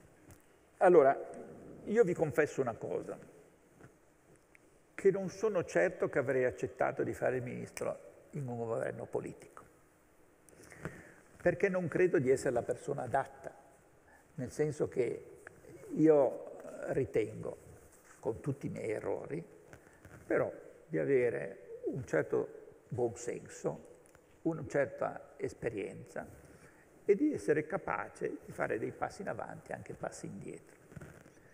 Ma dico la verità, che non sono disponibile ad accettare che qualcuno mi comandi un po' troppo. Almeno nelle cose che so fare, nelle cose che non so fare accetto qualsiasi cosa, quindi non credo di essere disponibile a fare. Dico la verità, forse avrei potuto fare anche il sindaco di Torino, ma non credo che sarei stato un bravo sindaco, perché mi mancano alcune componenti e poi avevo avuto la sensazione che non mi avrebbero lasciato essere abbastanza libero. E quindi dissi di no, ma lo dissi sinceramente, no? perché io credo che bisogna che le persone abbiano questo tipo di libertà, se naturalmente poi hanno le caratteristiche. Allora, io mi ricordo bene, noi non ci avevamo nessuna maggioranza su qualsiasi tipo di norma, quando andavamo in Parlamento, noi ci eravamo divisi, il Parlamento, non per partito, ma per area di provenienza. Quindi io conoscevo i piemontesi e i liguri e andavo a fare un po' di moral suasion, indipendentemente che fossero di una parte piuttosto che dall'altra. Noi abbiamo lavorato così e c'era all'interno diciamo, di questo governo una comunità di persone che avevano un loro mestiere e quindi sarebbero tornati a fare il loro mestiere. Era indubbio questo, non erano persone che avevano bisogno di... che avevano alcuni ideali nei quali eh, credevamo e avevamo una sola persona, uno unico, che era il ministro Giarda, che aveva fatto un'esperienza come sottosegretario, ma non eh, eletto, era stato eh, esterno, e che era il nostro ministro per i rapporti col Parlamento, perché noi eravamo un po' veramente... Eh, disabituati, diciamo. Eh, sì, dinamica. disabituati a fare queste cose, però dico la verità che nei primi mesi qualsiasi cosa avessimo detto, anzi, se avessimo avuto ancora un po' più di coraggio, avremmo fatto ancora di più. Poi arrivati a maggio, Tenete presente che comunque la scadenza elettorale era nel mese di febbraio del 2013, le cose hanno cominciato a inguaiarsi, perché i partiti, giustamente, eh, mia non è una posizione, eh, avevano poi altri obiettivi rispetto a... e quindi le cose sono diventate eh, molto più difficili. Quindi abbiamo avuto due fasi, una fase diciamo, di progettualità, anche di emergenza, diciamo, abbiamo avuto anche delle emergenze molto complicate. E, però è stata un'esperienza anche umana molto molto interessante. Eh, naturalmente mm, io credo che eh, il dopo, il giudizio del dopo, non sia stato un giudizio equilibrato. Beh, lo vediamo anche adesso che molte eh. cose di quel governo sono ancora oggetto di discussione, penso eh, alle pensioni. Eh, sì. Io credo che alcune delle cose che abbiamo fatto eh, sono cose che dovevano essere fatte e sarebbero state difficili eh, eh, farle fare ad un governo che ha bisogno comunque del consenso. Lo dico con un certo dispiacere, perché io credo che, eh, almeno quello che io ho sempre cercato di fare, non era basato sul consenso. Bisogna dire dei no, bisogna essere capaci a argomentarli. Però io credo che la politica in questo momento più che mai abbia bisogno di crescere a questo punto di vista. Bisogna che eh, torniamo ad avere maggiore competenza, bisogna essere più capaci a eh, progettare. Qui abbiamo bisogno di progettare il futuro di questo Paese e anche il futuro dell'università. E passiamo al capitolo successivo a questo punto, perché il governo, come avete capito, finisce e quindi anche la tua esperienza da ministro.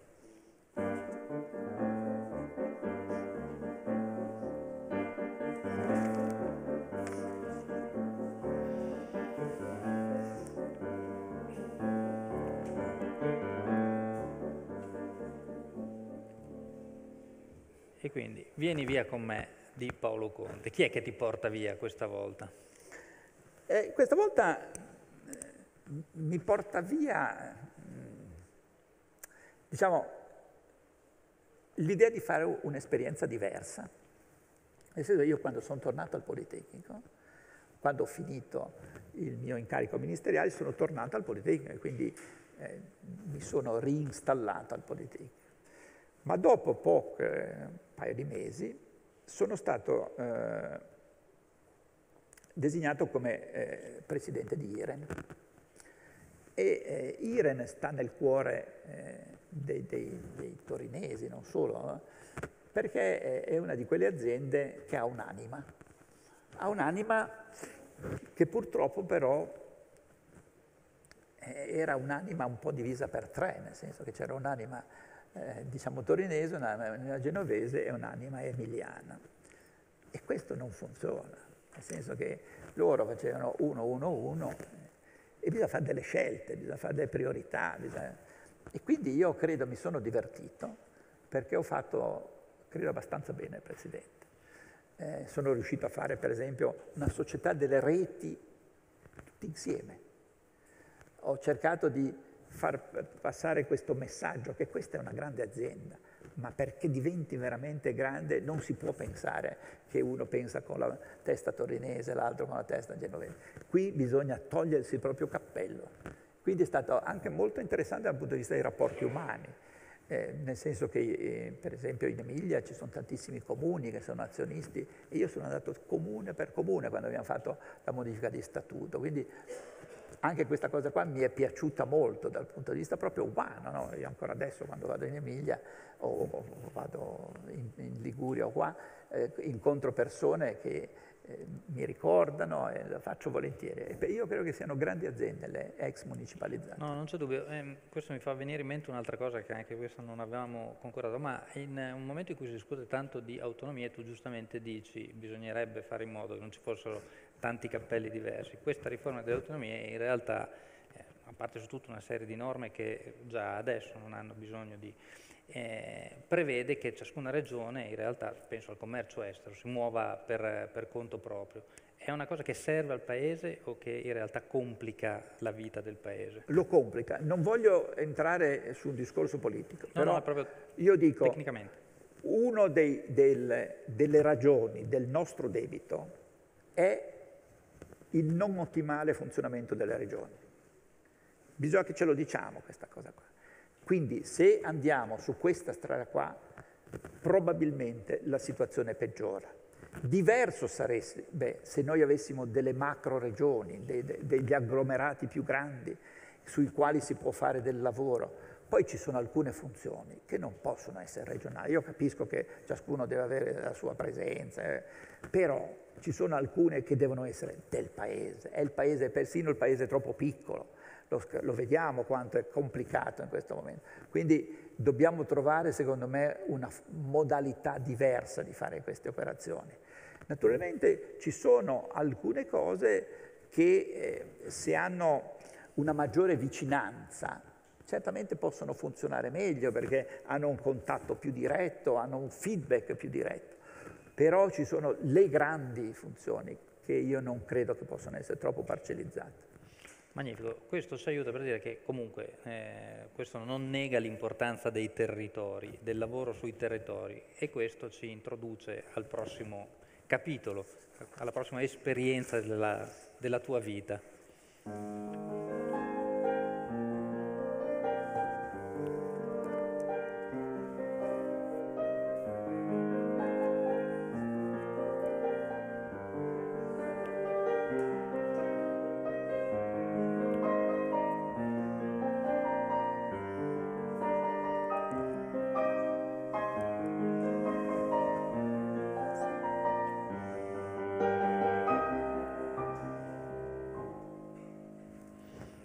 Sono incuriosito moltissimo dalla tua playlist perché hai trovato le canzoni veramente straordinarie. Questo è David Guetta, per me io l'ho scoperto da lei, da lui, ma non avevo idea. Però è titanio in realtà, no? la forza eh, in realtà. E qui arriviamo alla compagnia di, di San Paolo, diciamo che è uno dei pilastri fondativi di questo territorio, è un'esperienza eh, diciamo, straordinaria, no? perché è un'esperienza larga di unione con, con, le persone e con chi vive qua. Che otto anni sono stati quelli alla Compagnia di San Paolo?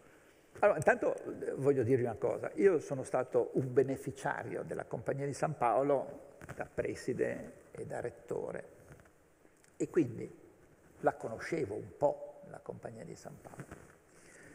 La conoscevo un po' e eh, il, il, primo contatto da, da, rettore fu il seguente, forse non, non l'ho raccontata tante volte.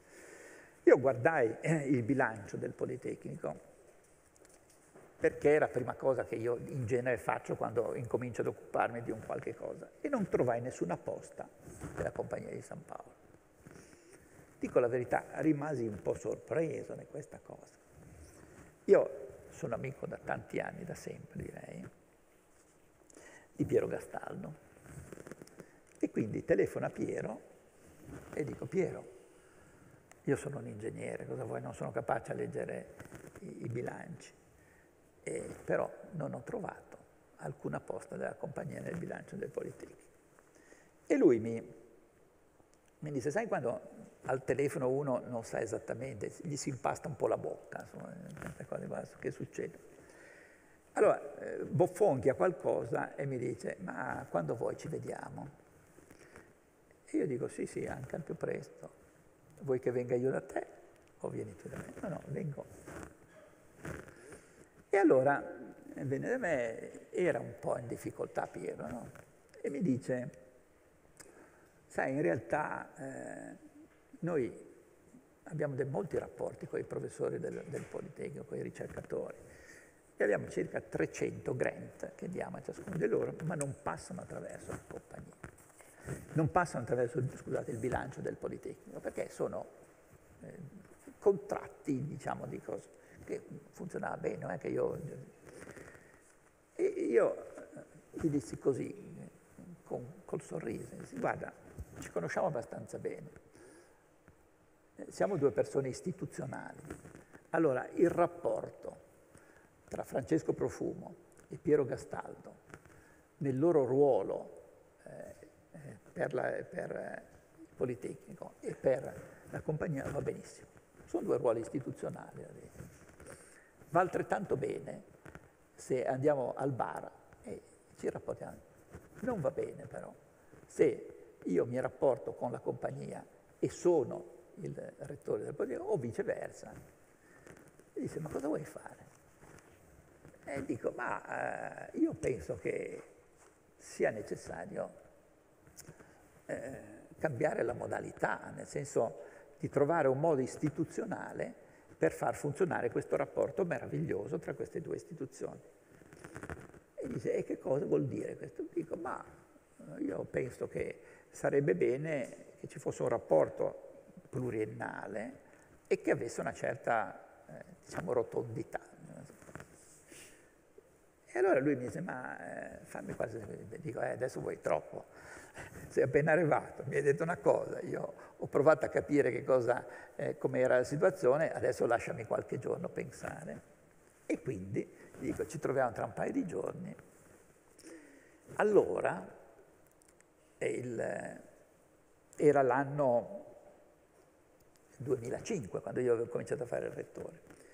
Le università avevano una, una grossa crisi di liquidità, perché eh, il fondo di funzionamento ordinario non era così male, però c'era eh, un eccesso eh, di, di, di, spesa per il personale, per cui era praticamente le università erano intorno al 90% di, di, spesa di personale sul bilancio e quindi non c'era più niente poi, un po' di riscaldamento, un po' di pulizie, quindi non c'era niente.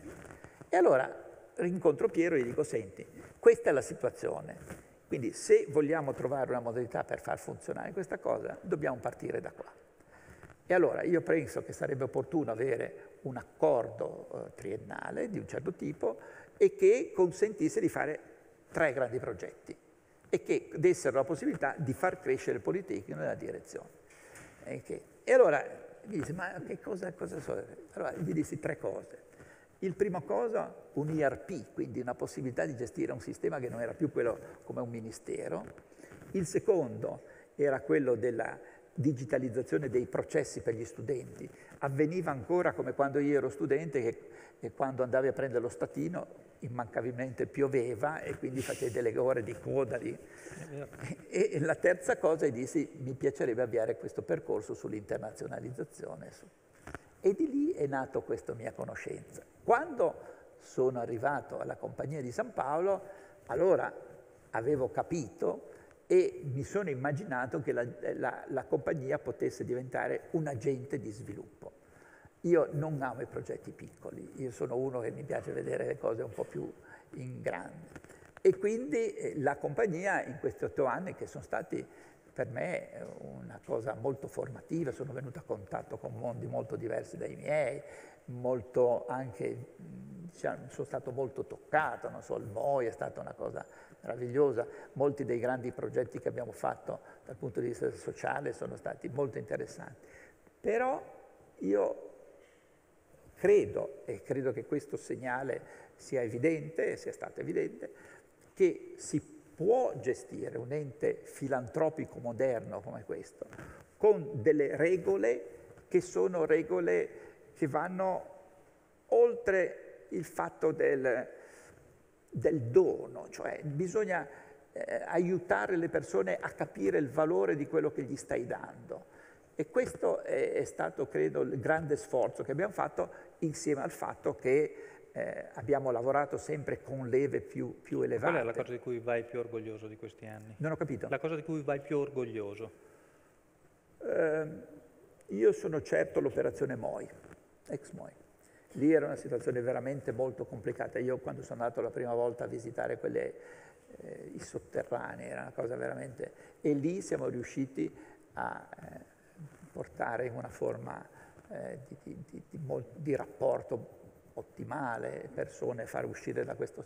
Li abbiamo educate, gli abbiamo dato una casa, i bambini li abbiamo mandati a scuola eh, e tutto questo certamente è stato un esempio. Anche il Ministero degli Interni, quando andammo con il precedente eh, prefetto, ci riconobbe questa cosa e ci dettero, era, il capo di gabinetto era Piantedosi e il ministro era Salvini, e ci dettero anche delle risorse perché dicevano questo è un modello che può funzionare, che deve funzionare.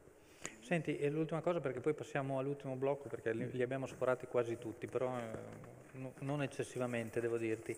Se hai un rimpianto, se ti riconosci un errore e poi in tutta questa eh, cavalcata che hai fatto della vita, qual è stato il momento in cui ti sei sentito più felice? Allora, errori ne ho fatti tanti, eh, momento, Io, però eh, ho sempre una certa attenzione rispetto al fatto che eh, che ancora non conosceva nessuno, lì sei. Lì, lì non conosceva nessuno, siamo andati a Candiolo, siamo stati una, una mattinata, eh, siamo stati dagli ammalati, dai ricercatori, lui è un ragazzo di un'umanità indescrivibile ed è stata un, veramente una di quelle cose belle che ti possono capitare solo se hai eh, veramente le opportunità. Dicevo quindi, io certamente ho sbagliato molte volte nella mia vita, però se, se posso dirlo, sono uno che impara dagli errori, nel senso che quando faccio un errore eh, lo, ci rifletto e cerco di evitare di, di farlo, di ripeterlo. e quindi da questo punto di vista eh, credo che nella mia vita sono maturato, no? nel senso che eh, sono certamente riuscito a, a, fare delle cose che mai più io mi immaginavo di venire a Torino, fare il Politecnico, essere un bravo studente, tornare a casa e vivere tutta la mia vita a Savona. Ecco, questo era non mio... è andata così. Non è andata proprio così. Che cos'è che è la cosa più... Io credo la mia famiglia. E allora qua ti fermo perché ti stai commuovendo così introduciamo l'ultimo blocco.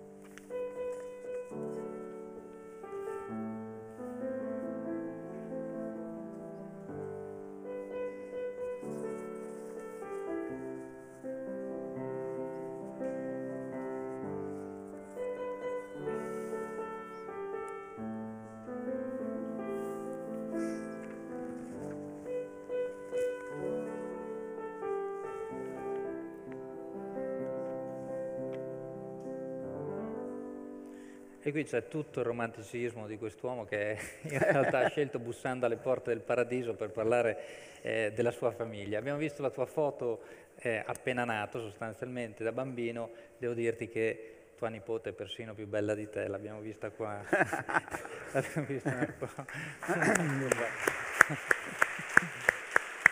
Beh, io, eh, io, credo che eh, non avrei potuto fare quello che ho fatto se non avessi trovato una persona come Anna. Cioè, lei viene da Alba, quindi eh, vi, vi, racconto una cosa così, un po' così. Eh, suo papà non aveva mai consentito né a lei né a suo fratello di viaggiare in aereo perché lui, nel, nel, quando c'era stato l'incidente di Superga, era um, alle molinette, quindi era stato molto colpito da questa cosa, che volassero prima di sposarsi. Quindi naturalmente loro erano... E, e noi siamo andati in viaggio di nozze in Brasile. E in poi, nave. Eh, sì.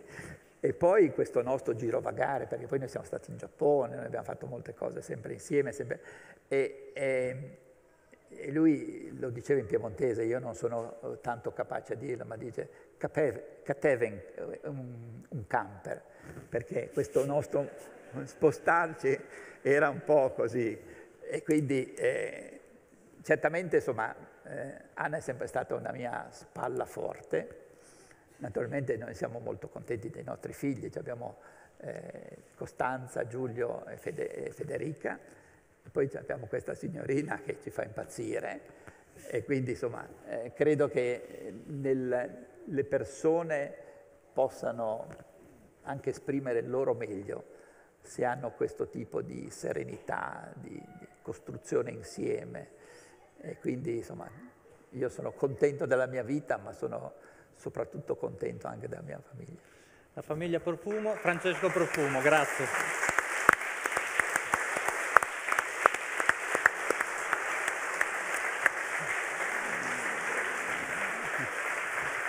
Grazie.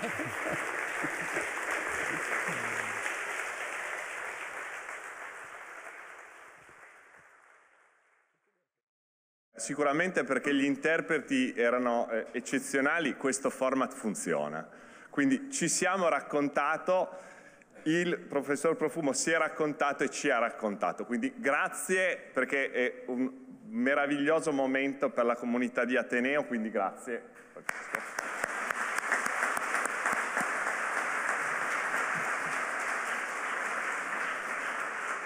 Proprio perché abbiamo detto di cercare di sigillare eh, i ricordi, la comunità di Ateneo vuole davvero omaggiarti di questo primissimo, eh, è stato il primo, versione zero, e eh, di questo eh, book dei ricordi a Francesco Profumo, rettore del Politecnico di Torino.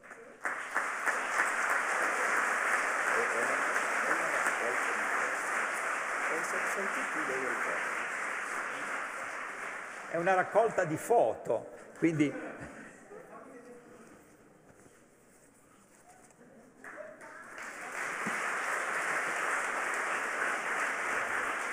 E passo adesso la parola al... No, adesso un attimo, la protagonista che...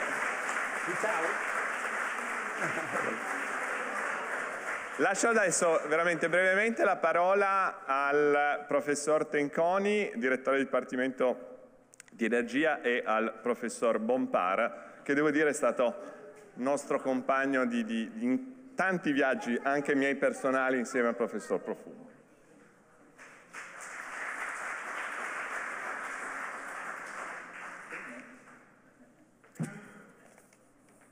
Buonasera a tutti, io vorrei qui rappresentare la comunità dei colleghi, più di cento, di tutti i dipartimenti che hanno rappresentato e rappresentano tutte le anime dell'Ateneo e che hanno proposto il professor Profumo per il titolo di professore emerito e la comunità politecnica nel suo insieme.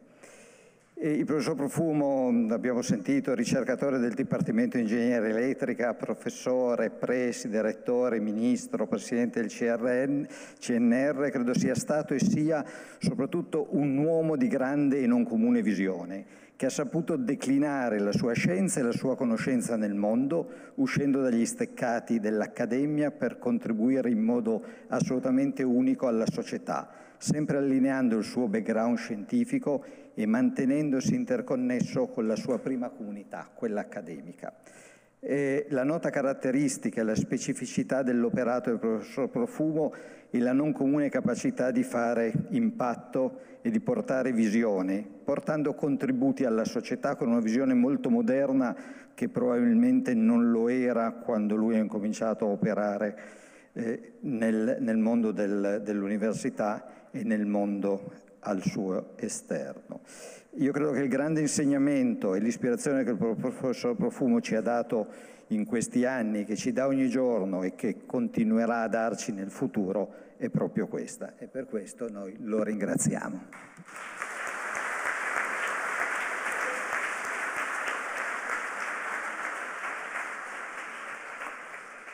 Allora, il titolo di professore emerito è digitalizzato, quindi non esiste eh, come oggetto fisico, però io poi, eh, così, legato alla tradizione, consegnerò un, qualcosa di materiale a, al professor Profumo. Però prima di fare questo, eh, ovviamente mi associo alle parole, faccio mie le parole di Ettore e di tutto quello che mi ha preceduto e vi do solo due elementi velocissimi eh, su, di completamento del percorso che ha portato poi al conferimento del titolo di professore emerito. Dopo la raccolta eh, delle eh, 100 firme di cui vi ha detto il professor Bompard, la commissione del, dell'Ateneo ha eh, mandato al Dipartimento un, documento di cui io vi leggo solo eh, due righe, mi sembra che sintetizzino perfettamente tutto quello che è emerso eh, nel corso del pomeriggio. La Commissione ritiene unanimemente che emerga con chiarezza l'alto livello del contributo dato dal professor Francesco Profumo nell'ambito delle attività di servizio dell'Ateneo, della comunità scientifica italiana e più in generale del Paese. La Commissione trasmette la proposta al direttore di Dipartimento Energia Galileo Ferrari con parere pienamente favorevole. A valle di questo eh, l'ultimo passaggio è stato in realtà il penultimo passaggio è stato quello del Consiglio di eh, Dipartimento, Dipartimento che voglio ricordare brevemente eh, deve molto all'intuizione del professor Profumo perché il Dipartimento Energia nasce da una sua visione che anticipò eh, la legge Gelmini e che diciamo, ci spinse eh, con, ci persuase prima con la federazione dei due dipartimenti, eh, energetica ed elettrica, poi passando a un unico dipartimento che piano piano si sta eh, consolidando, si sta amalgamando, nonostante eh, costituito da storie e da competenze eh, diverse ma eh, complementari. A valle di quest'ultimo passaggio le carte sono state trasmesse al Ministero ed ecco io qui appunto consegno al professor Profumo il decreto e la lettera di accompagnamento in cui il Ministro conferisce il titolo di professore emerito.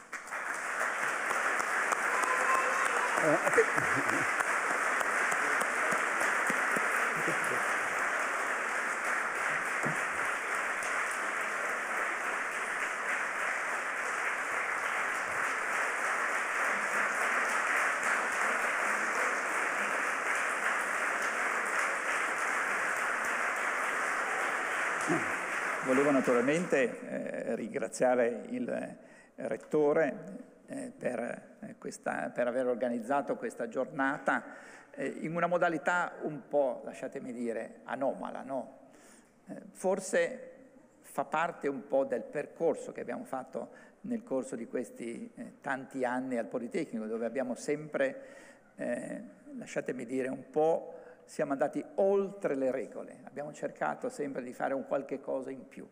E io penso che le persone, io oggi avrei potuto fare una lezione tradizionale, dico la verità, però ho pensato che poteva essere più interessante raccontare come eh, si possa cambiare un'istituzione perché in realtà eh, non è sempre necessario che ci sia una legge, è necessario che ci sia una volontà e soprattutto che ci sia un disegno. Se c'è un disegno anche con le leggi attuali si possono cambiare le cose.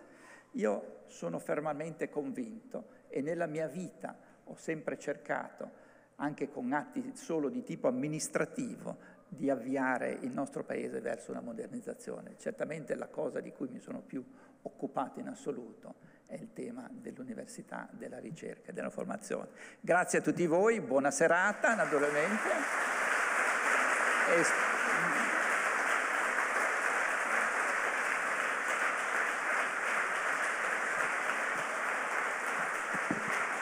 Mentre continuate ad applaudire, due ringraziamenti ai bravissimi fumettisti che ci hanno accompagnato, Gian Maria e Marco di Rubra Studio,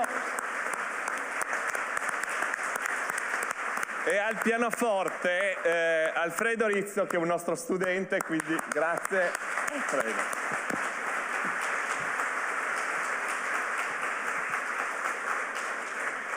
Permettetemi però anche di fare un ringraziamento a tutte le persone del Politecnico. Questo è un Ateneo che è capace a fare le cose, che è capace di farle nel modo migliore possibile. E questo è perché l'Ateneo ha sempre investito nelle persone. Molte delle persone che in questi giorni ho rincontrato erano con me quando io ho incominciato a fare il preside, quindi tanti anni fa. Sono cresciute in età, sono cresciute in eh, professionalità, ma lo spirito è sempre lo stesso. Ecco, questa è una grande comunità e io lo dico soprattutto a chi è esterno. Qui c'è un'anima e quest'anima ci tiene forti e ci tiene uniti, nonostante anche ci siano stati momenti di difficoltà, ci saranno e ci saranno. Però io credo che le scuole debbano avere anche questa cosa e lo trasmettono ai loro studenti. Un'ultima cosa, poi smetto.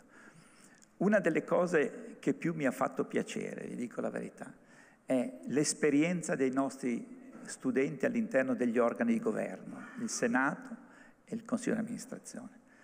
È un'esperienza meravigliosa e questi ragazzi che fanno questa esperienza poi sono i più bravi anche nel mondo del lavoro, perché imparano a confrontarsi con gli altri, a mettersi in discussione, a dire qualche volta ho sbagliato, ma credo che le scuole, oltre ad insegnare bene l'analisi, l'elettrotecnica, la fisica tecnica, debbano insegnare a diventare uomini e donne.